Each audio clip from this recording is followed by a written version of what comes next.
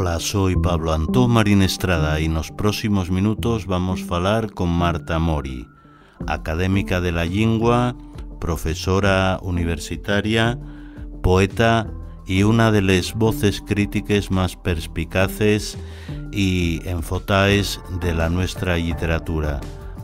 Dirige precisamente la revista que lleva ese nombre Literatura, una publicación donde da a conocer a los nuevos valores y publica también a los clásicos contemporáneos. Nayuri, un espacio a Fallaizu para falar posao.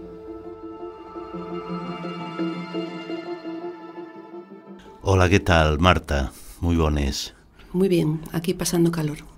bueno, eh, neste momento eh, falamos en un tempo en que fai calor, non sabemos eh, como va a estar nos próximos días, nas próximas semanas ou meses, pero lo que tiene la, este, la palabra y siempre también esa forma de arropiellanos, eh, sea eh, en tiempos de frío o de calor, ¿no? al rodio de, de la al rodio de, de, la imaginación, al rodio de la fantasía también.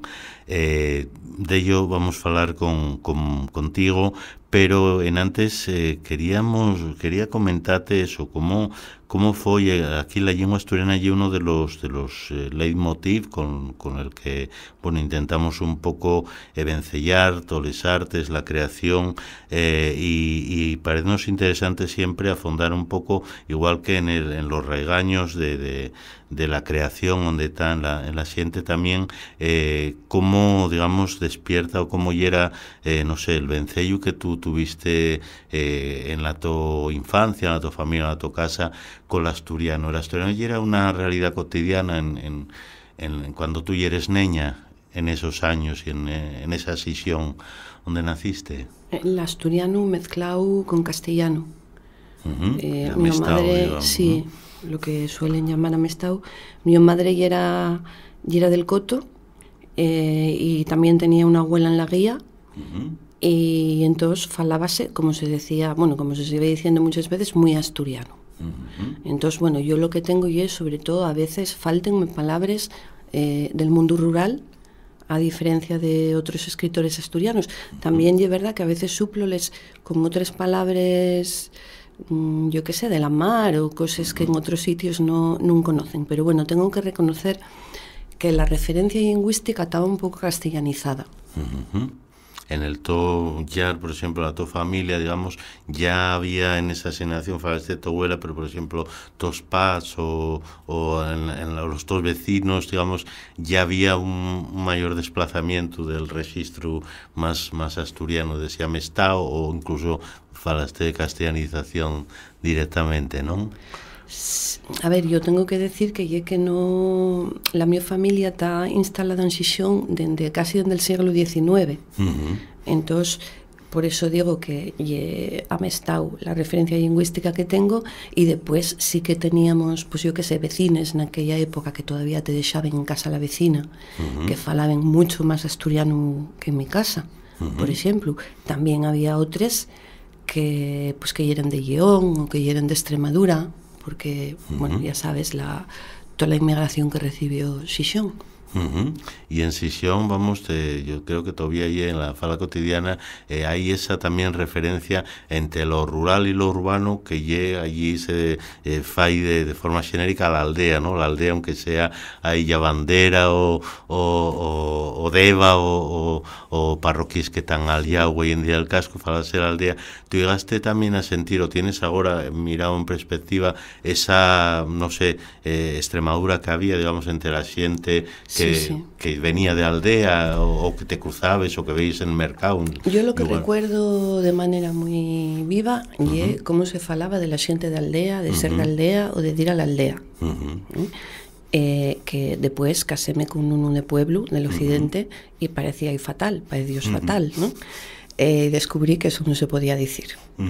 Pero bueno, mmm, supongo que esto va siempre y escalonado los de la zona central de Asturias miren un poco por arriba del costazo a los del occidente, eh, los de Somió miren por arriba del costazo a los de Pumarín y los de Pumarín miren por arriba del costazo a los de a los de aldea y, y, de vida, ¿no?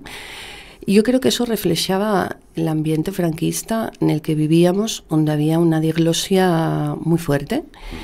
Y aunque se falaba mucho más asturiano que ahora, eh, había esa idea de que y era una cosa de pueblo y, y que cuando querías quedar bien eh, con xente estudiado ou en situaciones formales cambiabes uh -huh. e falabes si sabías, non todo el mundo sabía, pero bueno, la xente que, que tenía un pouco de estudios sabía e cambiaban a, al castellano en el intre había, digamos, eso, un, componente ahí claramente clasista, por decir de alguna manera, incluso. ¿no? Y, y bueno, y de... Y, lo que llamen las variedades funcionales de la lengua, ¿no? Uh -huh. a, acomodate a, sí. al interlocutor y a, a, la situación. Yo tengo amigas con las que falo en castellano, amigas quiero decir, de estos, de estos uh -huh. que conoces desde los 12 o 13 años, y otras con las que siempre fale asturiano, uh -huh. o sea, ya de pequeñas. Sí, sí, sí. ¿eh? Eh, si eran de fuera y te falaban castellano, falabas castellano porque para eso la aprendías en la escuela. Uh -huh. Pero después había otras moces que falaban en asturiano, en casa de ellas falaban asturiano, insisto, ese amestau. Uh -huh. ¿eh? Eh, y, y, yo con ellas. O sea que bueno, yo considero que, que sí tengo es esa, esa base lingüística. Uh -huh. Pero bueno, igual no tan completa como los escritores que conocemos que son de Cabrales o de uh -huh. y es distinto. Uh -huh. Y también vemos eh, muchos eh, creadores con los que falamos pertenecen a, a, una generación que ya conoció la escolarización en, en asturiano y que, que, vamos para ellos eh, ya pues eso en una, en una en un tiempo como la infancia o la adolescencia digamos por lo menos eh, lo que ya era la extremadura de los registros y, y cierta conciencia y tal pues bueno fue guañando en ellos en el Tocasu como en el de, de otros perteneces a una generación que no tuvo esa oportunidad eh, y, y, vamos, ¿cómo sería el, el, todo descubrimiento? Porque la lengua estaba ahí, pero el descubrimiento, como, eh, ¿cuándo fue? ¿En ato? ¿Ya cuando, en tiempos de, cuando ya estabas en, en la facultad o tal? Sí, o, sí. Digamos, Mira, cuando se produce yo eso. Yo no viví en la escolarización como escolina, pero yo fui de los pioneros en poner clase de asturiano, uh -huh. que tuve que pedir permiso en Madrid. ¿eh? O sea que, bueno, de eso siento-me orgullosa, porque ya era un trabajo suplementario que nos metíamos porque queríamos, algunos. Uh -huh. eh, yo el asturiano descubrí una facultad, pero tuve la, la suerte de, de conocerlo un primero, o sea, uh -huh. nada más empezar la facultad, o sea que ya me metí a fondo. Uh -huh. ¿eh? ¿Qué significa descubrirlo? Pues descubrir con sorpresa que había xente que falaba asturiano siempre, en todas as situaciones, e que, bueno, pues evitaba meter esos castellanismos, por exemplo, non decían non decían Gijón, decían Xixón, siempre. Vas para Xixón, siempre. E, e bueno, claro, yo era consciente de que falaba asturiano, pero también había unos límites, que é lo que tienen la Mestau. Con la Mestau tú puedes decir tengo mucha fame, pero depois decir eh, Gijón, por exemplo, na, na mesma frase, non? E, e descubrir el asturiano como unha reivindicación e como unha forma de tamén con un vehículo para facer literatura, pues, pues fixo que me interesara en conocer la lingua e intentar falar mellor. Uh -huh. Y vamos, en, hablando de literatura, tú tenías, eh, vamos, ya en tiempos, eh, en antes, cuando eres una niña o una adolescente, digamos, tenías ya en Clean, y eres de la típica niña que, digamos, que se interesaba más por los libros que por, no sé, pues otro tipo de, de esparcimientos como tenía la, los niños y las niñas. Yo creo que, que todos estamos contestándote lo mismo, ¿no? Uh -huh. Cuando te dediques a escribir, pues fuiste eh, un niño o una niña que a los seis años estaba con las narices metidas en el tebeo uh -huh. y mientras los otros estaban jugando a fútbol o a la comba uh -huh. o a lo que fuera. Claro, llegué hasta la etiqueta del colacao. Y ella sin parar. y, cuando vamos, por ejemplo, a tu etapa, tanto vamos en la escuela que te tocó, la HB como en el instituto, ¿tuviste eh, maestros o profesores eh, que, te, que te afalaron eso, que te ayudaron también a, cultivarlo de alguna manera? O que, o que vamos, en lugar de, no sé, a veces, aunque tengas ya, digamos, ese interés, eh, influye mucho en esos años de formación el ambiente que te encuentres en eso, ¿no? En, contextos formales donde la literatura forma parte no ya de la, de la diversión, sino de, de otra cosa. Sí, sí, por suerte yo viví una época donde no era obligatorio hacer ciencias si tenías buenas notas. Eh? Había la presión que yo veo que hai agora nos institutos que cuando un chaval ou unha chavala son espabilados, pues, bueno, sufren unha presión tremenda para que non escuellan la, la rama de, de yetres, ¿no?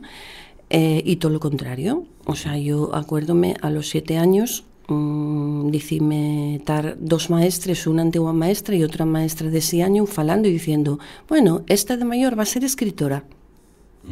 O sea, facer el, el vaticinio non sei por qué, non tengo ni idea, porque non sei en, en que lo podi, en que lo podían notar, supongo que igual Día que aprendí ayer máis rápido, o que falaba moito, uh -huh. o fabulaba, o, uh -huh. o non lo sé. Sí, sí. E depois tuve referencias, tuve unha referencia moi positiva con respecto al asturiano, unha maestra que tuve en en tercero de XB, creo que lle, Vicky, que cantábamos cantares en asturiano y dio una visión muy positiva de la cultura asturiana. Y tuve una profesora de literatura en el instituto que, que me marcó y que ya era tremendamente crítica. No era precisamente la que decía que el cuento estaba muy bien. Era igual y sacaba defectos, pero bueno, porque esperaba más de mí. Uh sí, vamos, un, un, estímulo yo creo que seguramente más más determinante a lo mejor que, que el siempre falago tal, ¿no? Que a veces siempre puede esconder ahí y decir, bueno, ponete un reto, claro, ponete y ya estaba. Pero y, y cuando digamos y el, y el cuando de, de algún ambiente ves también eh, en antes eso falabes de ese, ese grupo de xente que tal encuentres na facultad que falen eh, en asturiano da fechu que, que non só eso dicen sesión e tal, sino que, que digamos que lleven esa, eses converses a todos os contextos con intención cuando y ahí también cuando descubres digamos la, la propia literatura en asturiano que seguramente a lo mejor sí. de algunas de estas personas también o cultivaban o también en sí. algún grupo o, no, algo eso y ahí también ese descubrimiento ya como lectora de, de algo contemporáneo ¿no? Sí eh, bueno, según estás falando tú, voy recordando cosas. Uh -huh. Tengo que decir que eso de que el asturiano lo descubrí en la facultad y es relativo, porque yo acuérdome perfectamente de, de la época del furor de Nuberu, de uh -huh. Julio Ramos. Eso influyó eh, también todo eso. Bueno, en casa la uh -huh. mi hermana y yo sí, no poníamos otra cosa en el cassette, uh -huh. más que y íbamos a velos porque en Xixón, bueno, pues da cuando había sí. actuaciones sí. Eh, gratis y tal. O sea que te, yo digamos que tenía una actitud muy muy favorable. Y después al llegar a la facultad, pues conocí a Joan Bello, conocí a Berta Piñán, fundamentalmente ellos dos. Conocí a Silberto Llano, que estudió conmigo toda la carrera, uh -huh. a Xulio Vigil, eh, Jaime Priede, que a lo primero escribía sí, en asturiano, sí, sí. y después ya a través de ellos pues fui conociendo gente como Emilio Rodríguez Cueto, o a ti conocíate un poco de vista, eh, a Sánchez Vicente. Uh -huh. Entonces, eso, bueno, eso acompañó todo lo que fue la, la formación mía uh -huh. como filóloga. Cierto, y ahí vamos, aunque eso, que fuiste eh, coetánea y, y compañera de, de, estudios de muchos de esos nombres, como bien acabas de decir, pero sí casi el, el, la decisión o digamos el dar el paso a, a, a la creación literaria pel, pel Tollau, mm, vamos, esperó un pouco todavía, ¿no? O sea que sí. non, se, non te sentís a lo mellor sí, pero... segura o de, lo que, de lo que no se, de lo que no me sentía segura y era de si escribía lo bastante bien. Uh -huh. eh? mm, yo empecé a andar con esta xente porque queríamos montar unha revista e a mí gustaba me escribir. Pero bueno, tuve unha crisis de seguridade en mí mesma eh, e metíme máis pola crítica literaria. Uh -huh. E eu tengo unha tesis de teoría literaria e tuve muchos años estudiando ¿no? de la literatura desde un punto de vista máis teórico. E non escribía en asturiano ni en castellano, quero decir que non, non sí. era un non era un problema de idioma. Hubo un momento eh, cuando tenía veintipico años después de terminar la carrera, que me apeteció empezar a escribir poesía, salióme así uh -huh. de repente, y debí escribir como dos o tres poemas en castellano y luego dije, voy a escribirlos en asturiano, qué tontería. Uh -huh. Y escribí en asturiano y eso llevábalo yo muy en secreto. Uh -huh.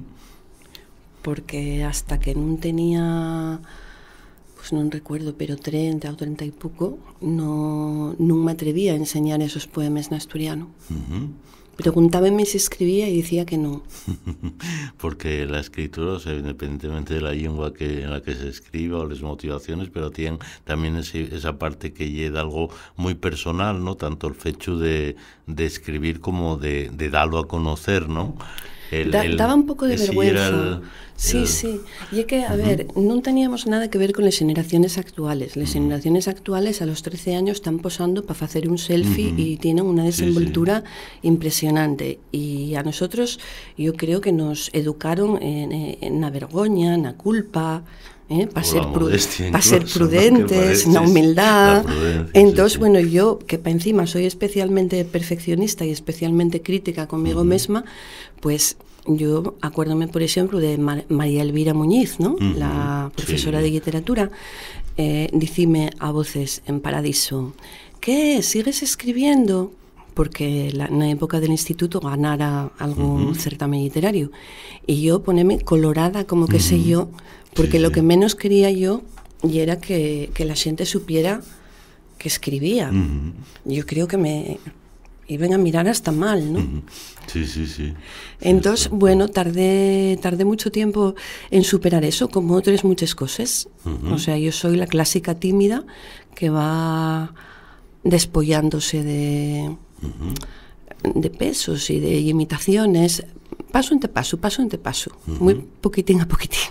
Y güey, tócate a ti estar también, digamos, a través de, por ejemplo, de la revista Literatura y del contacto sí. que tienes con xente mozo, eh, no sé si a falalos, pero sí enveredar de alguna manera, a lo mejor porque el paso es y de, yo creo que, como bien dices, no, no tienen precisamente ese problema seguro, ¿no? De, de decir tú, tú escribes y que se pongan ahí como un tomate o, o gachen la, la mirada, pero a la vez si tienes, digamos, esa, mm, ese también, no sé, proyecto que yo creo que es muy, muy estimulante de, de alguna manera, eh, no sé si enveredar, pero sí ver, medrar a, a esas voces y, y, de alguna manera valorar y, y, extremar también lo uno del otro, ¿no? Lo que tengan de, uh -huh. de ahí de, de, innovador o lo que tengan de, de, de imaginativo o lo que tengan de, de eso también de, de talento en, en cada uno, ¿no?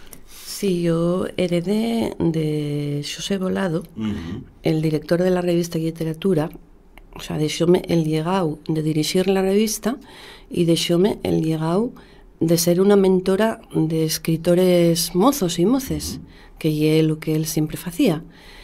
Y, y, bueno, pues hay que acercarse a ellos y a ellas y hay que mm, pedirlos que te manden algo Eh, pero tampoco se trata de publicar cualquier cosa. Uh -huh. Tampoco se trata de publicar la redacción de alguien que está en bachillerato y que se ida bien.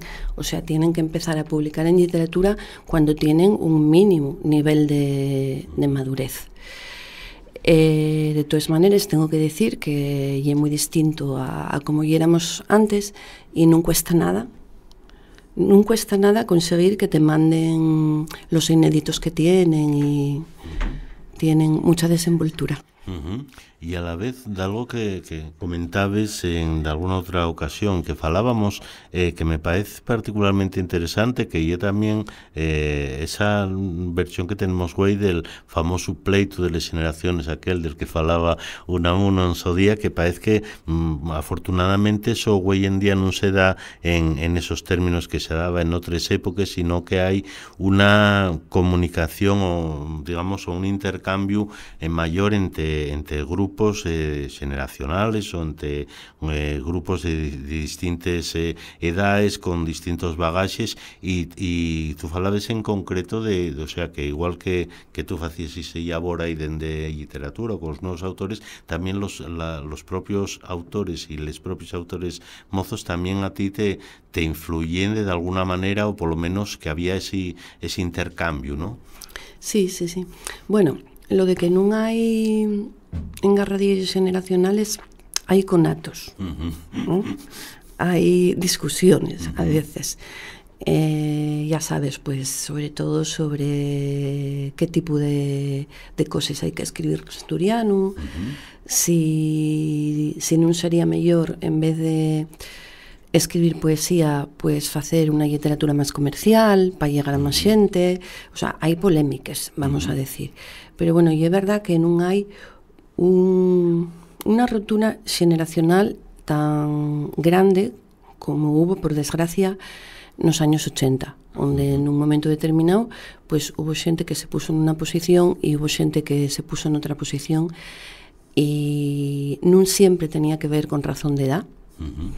porque tenemos aí, por exemplo, a xente como Miguel Rojo que, que está ben con los más mozos, ¿no? Uh -huh.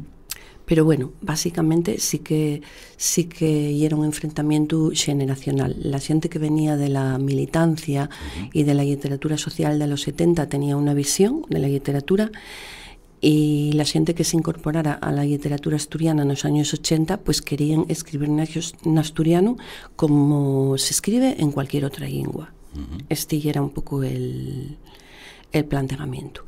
Entón, agora eh, tenemos de todo. Hai esas polémicas, hai muchos xéneros que antes non se cultivaban, hai corrientes bastante distintas, mesmamente dentro de la poesía tienes desde la poesía moi coloquial, pensada para la declamación, tipo máis slam, como por exemplo, la del Suárez, hasta poesía más hermética como la de Priegue o poesía todavía preciosista, ¿no? Uh -huh. Como cuando escribe, por ejemplo, Joan Bello, que sigue, bueno, pues eh, teniendo así ese procuro maravilloso por el lenguaje. Uh -huh. mm, y a mí lo que más me presta es mm, déjame influir por los más nuevos y que me enseñen cosas. Uh -huh. Porque están haciendo cosas nuevas. Por ejemplo, Yamedo, escribiendo con planteamientos filosóficos o uh -huh. María García Díez deseándose llevar a la física cuántica uh -huh.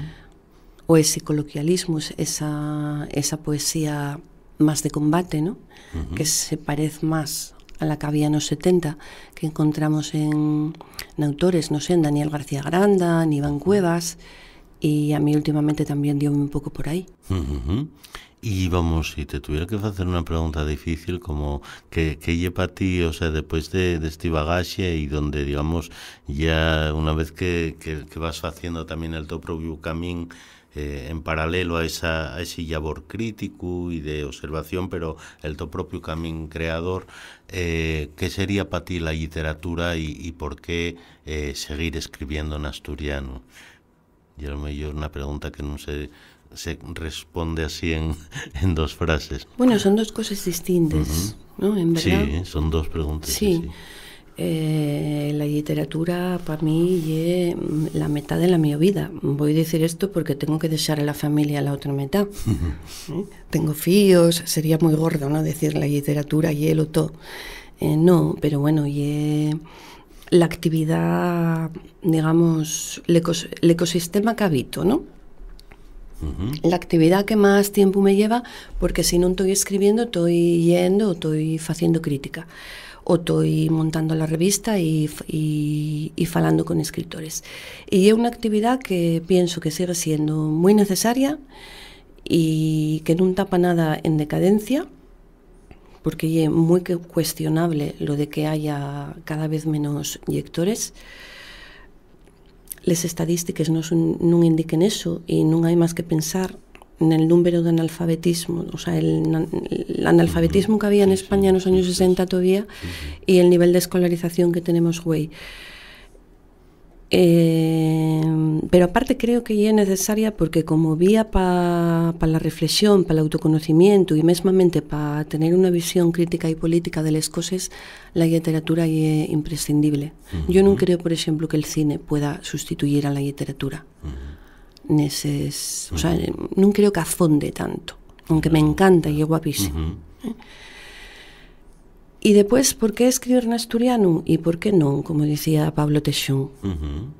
Lo primero porque tenemos derecho e entonces, bueno, queremos seguir escribiendo en asturiano, falo en plural porque estoy segura de que la xente piensa como yo, queremos seguir escribiendo en asturiano porque consideramos que é unha lengua moi guapa, que non queremos que se pierda, porque pensamos que é la nuestra lengua, el nuestro patrimonio cultural, y, y además sigue guapísimo y además mmm, y es más interesante que escribir en castellano.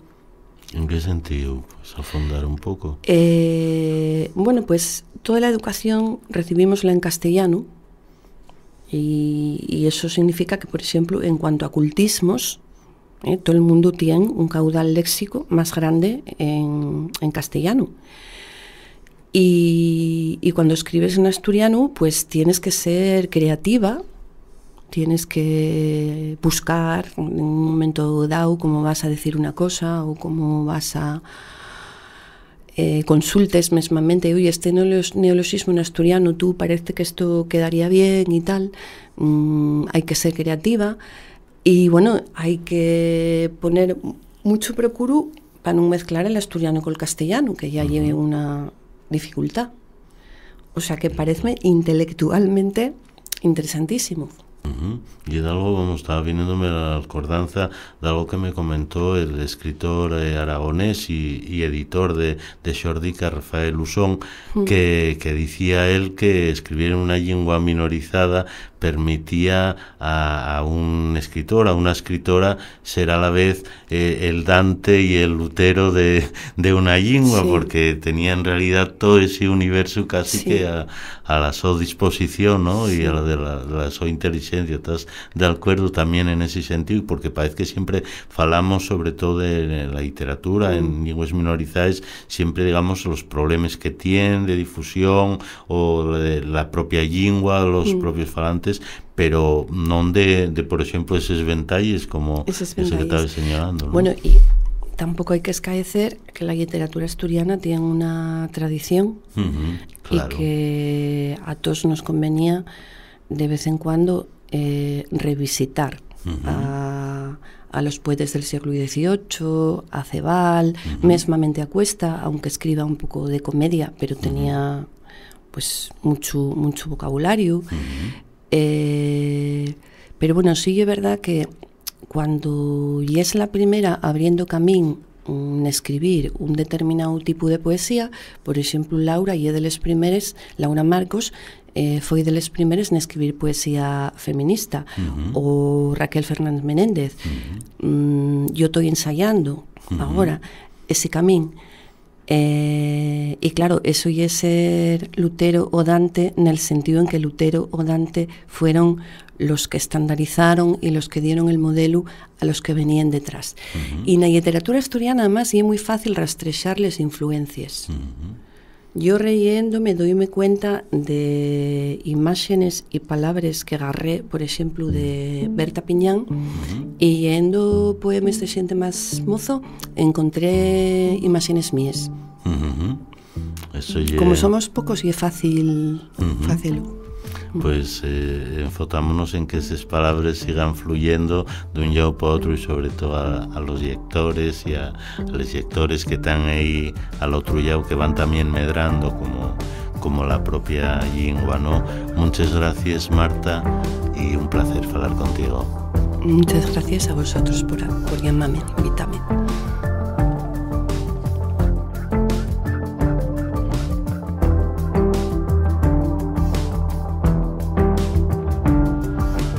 Nayuri, un espacio a Fallaizu para falar posao.